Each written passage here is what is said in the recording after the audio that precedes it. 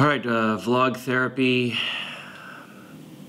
What happened today? Oh, um, Farrah's dad called and uh, he said to say hello to me.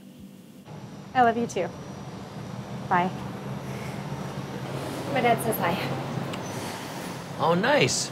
Small little snag. I got his name wrong. How is Jim? Now, in my defense, I mean, Jim and Bill, like, they're so close, right? I mean, they have the same letters. Jim. J I M. Bill. B I L L. Don't match. You know, they're both kind of generic names Bill, Jim.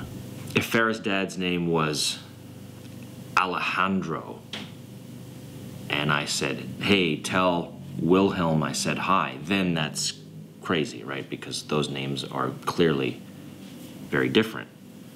But Jim and Bill, Doug, Dave, Pete, not a big deal, I don't think.